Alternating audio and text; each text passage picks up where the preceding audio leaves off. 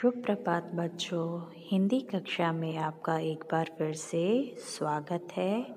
आज हम करेंगे चित्र देखकर उचित अक्षर के चारों ओर गोल घेरा बनाओ।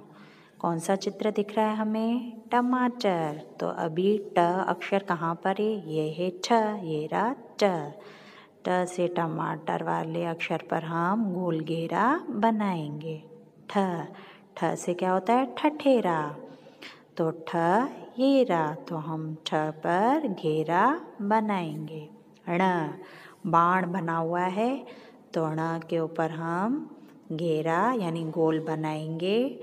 ढ से होता है ढलिया। ये है ठ, येरा, ढ। ढ से ढलिया के ऊपर गोल घेरा बनाया। ये है ढलान। ये तो ट है। येरा ढ ढ से ढलान के ऊपर गोल घेरा बनाएँगे।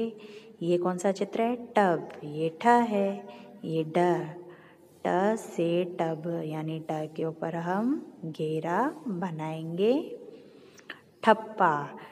ठ से होता है ठप्पा तो ठ के ऊपर हम गोल घेरा बनाएँगे।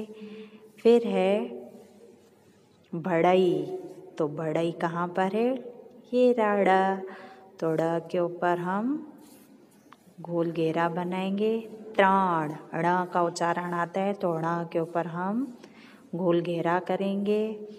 सड़क, ड़ तो पहला पहला ही है, ड़, उसके ऊपर हम गोल घेरा बनाएँगे।